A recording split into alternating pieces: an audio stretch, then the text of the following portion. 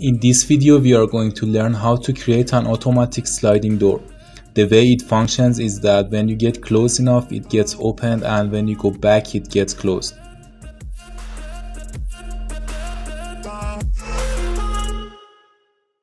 Hey everyone, my name is Alireza and I am a CG artist and a VR developer. This channel is about using Unreal Engine to create environments and levels for PC and mobile games, ArchViz and also VR games and applications. If you want to learn Unreal Engine as a beginner, this is the right place for you. So please don't forget to like, comment and subscribe. That would be a huge help for the future of this channel. And now let's jump into UE5 and get started.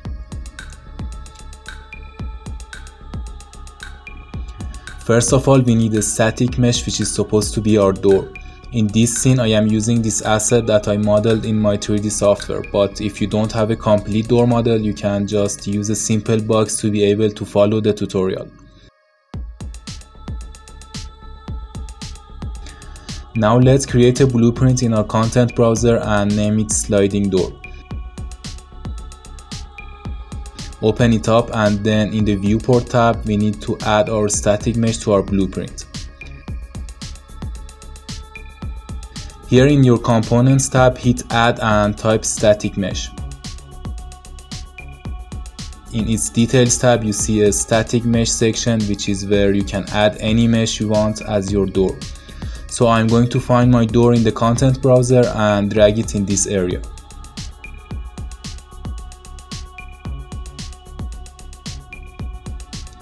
The next component we need in our blueprint is a collision box.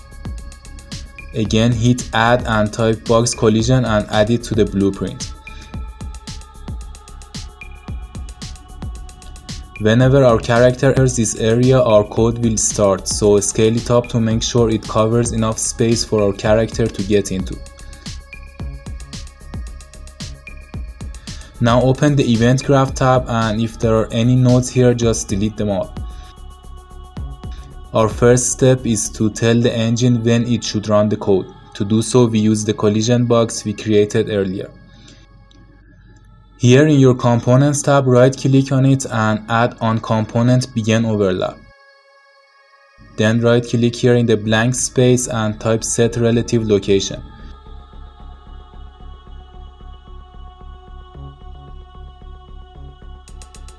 Let's give a value of 50 to its x value and see how it works.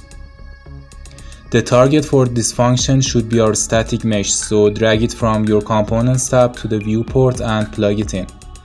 Then plug the event node to the function and compile.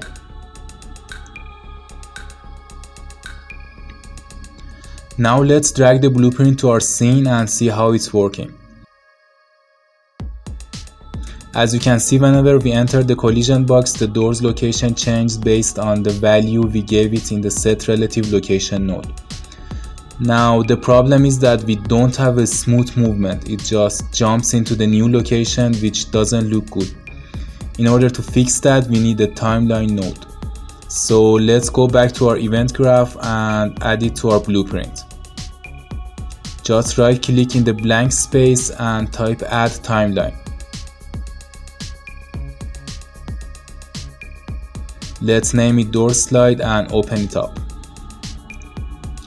What this node does is that it outputs a value based on a timeline. Hit the track button here and because we need three parameters for our x, y and z values, we need a vector track. Here you can define the length of the timeline. In this case a 2 second animation is fine but if your animation is too fast or too slow you can always come back and adjust your timeline length. We want our door to slide on its x-axis so we don't need any value for the y and z parameters.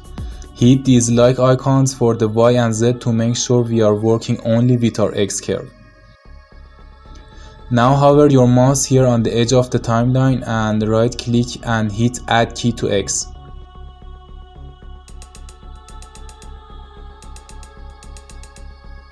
Add another key to the end of the timeline and drag it upwards to see the X curve. As you can see every key in the curve has two parameters. The left one is the time and the right one is the value. This is basically the amount that we want our door to be moved. In order to see our timeline properly, we need to hit zoom to fit vertically. Now hold Ctrl and select them both, right click and hit break. It gives us a smooth curve which results in a smoother movement for the door. That's all we need to do in the timeline node, so let's go back to our event graph and complete our blueprint. Now plug the onComponent begin overlap node to the play input, then connect the onComponent end overlap to the reverse input, which means that when our character leaves the box, the timeline will play the values in reverse so the door gets closed.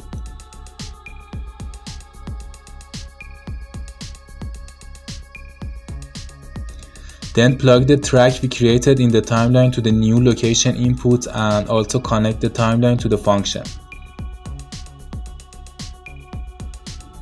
Now let's compile and play our level.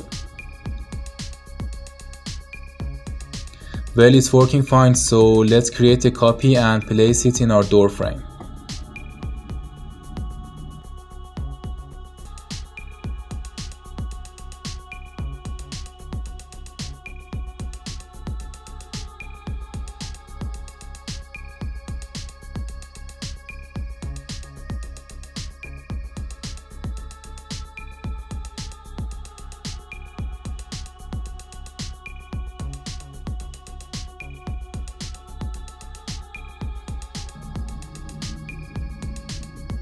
That's it it's working properly and if you want to change its speed or movement you can go back to the timeline node and play with the values to achieve the result you want I hope this video was useful for you and if it helped you learn something new please don't forget to subscribe to the channel.